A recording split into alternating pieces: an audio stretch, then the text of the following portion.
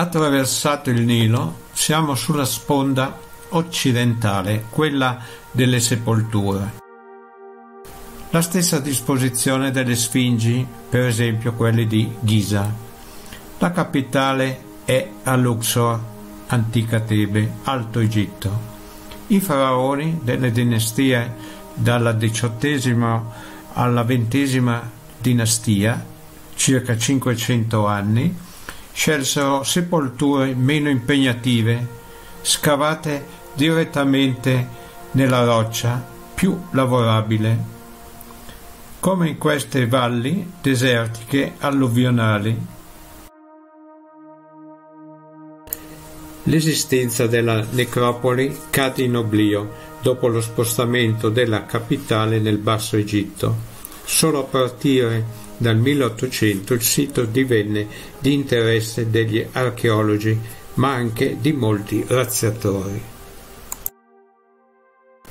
Qui sono classificate con la sigla KV Kings Valley 65 tombe.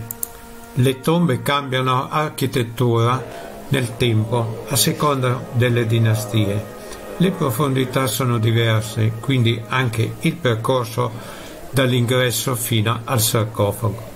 In genere è prevista un'entrata, il santuario, la sala di attesa, la sala colonnata ed infine la sala funeraria con il sarcofago.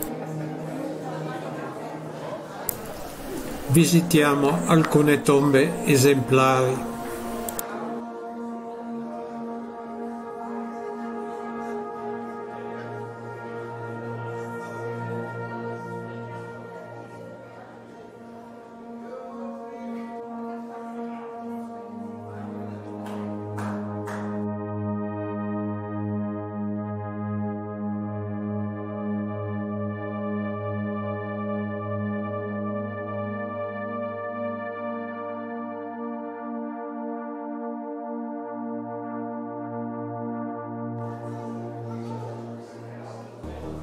La pietra calcarea si è prestata bene allo scavo, con i mezzi di 3500 anni fa.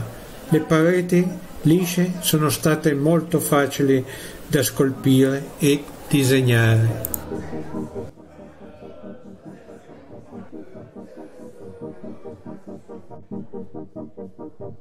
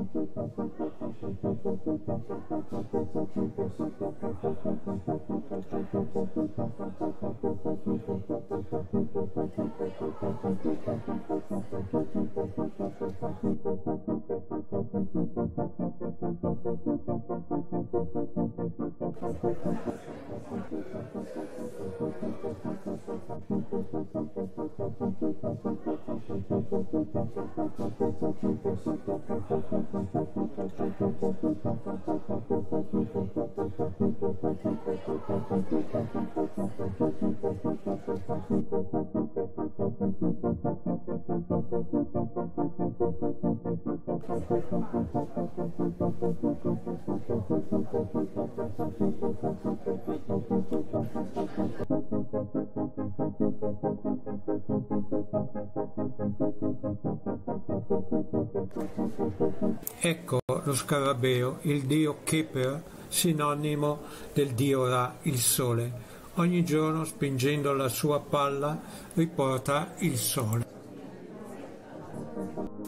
La tomba è lunga 120 metri e scende per 64 metri.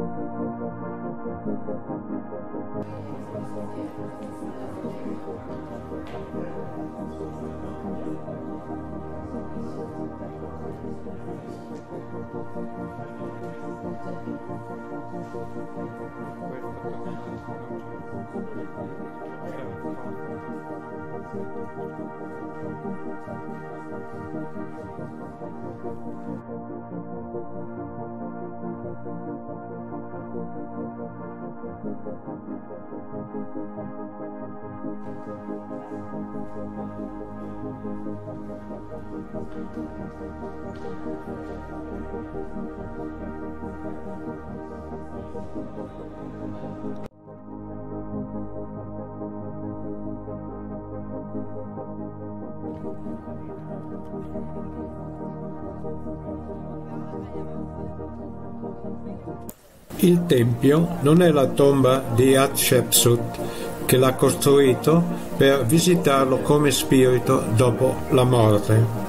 Il tempio è dedicato ad Amon Ra, il dio sole. Oltre alle distruzioni operate dal figliastro, il tempio ha subito molti tentativi di trasformazione dopo il 1960 ha subito un grande restauro e ricostruzione.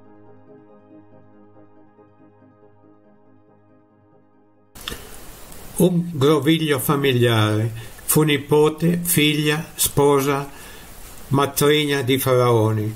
Hatshepsut era figlia del faraone Tutmose I, moglie di Tutmose II, suo fratellastro zia di Tutmose III, figlio del marito, che aveva appena due anni quando salì al trono. Abshut divenne sovrana reggente. Con la complicità degli alti sacerdoti e travestendosi da maschio, tenne la carica di faraone fino alla morte. È da considerarsi come uno dei migliori faraoni. Tutmose III, che era stato allontanato per anni in missione di guerra, quando prese i poteri effettivi dopo la morte di Hatshepsut, si dedicò alla cancellazione delle rappresentazioni figurative della regina, che ebbe anche trasferimenti di tomba nella valle dei re alti 18 metri, rappresentano il faraone Amenhotep III 1500 a.C. Si trovano anch'essi sulla riva occidentale del Nilo, nella zona della Valle dei Re. Volgono il viso al sole sorgente. La loro funzione era di fare la guardia al Tempio dei milioni di anni, dedicato alla conferma della divinità dei faraoni e per il loro culto. Il più grande tempio d'Egitto, ma a parte i colossi restano poche testimonianze perché sommerso dalle alluvioni del Nilo.